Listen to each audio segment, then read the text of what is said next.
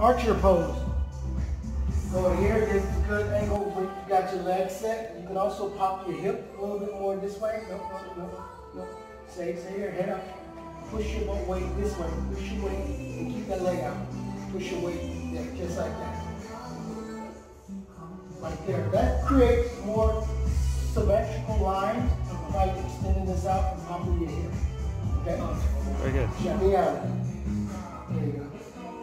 That's it. Where you drop your here. Now you drop your here. And look more, you can flex that quad.